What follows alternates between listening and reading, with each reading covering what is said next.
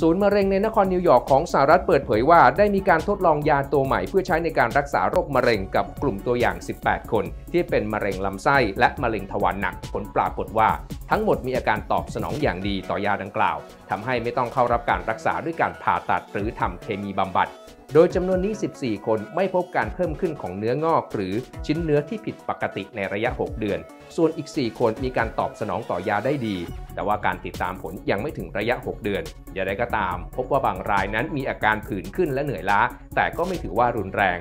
ทีมนักวิจัยยังเปิดเผยอีกว่า ยาดังกล่าวนั้นเป็นหนึ่งในกลุ่มยาที่เรียกกันว่า สารยับยั้งด่านภูมิคุ้มกัน กล่าวคือ ยาจะไม่โจมตีตัวมะเร็งโดยตรง แต่จะช่วยให้ภูมิคุ้มกันของบุคคลทำงานอย่างที่ควรจะเป็น โดยตัวยาจะออกฤทธิ์ยับยั้งโปรตีนชนิดหนึ่งที่เรียกกันว่า PD1 ซึ่งเป็นโปรตีนของมะเร็ง เมื่อโปรตีนดังกล่าวนั้นถูกยับยั้ง ก็จะทำให้ภูมิคุ้มกัน สามารถจัดการทำลายเซลล์มะเร็งได้อย่างเต็มที่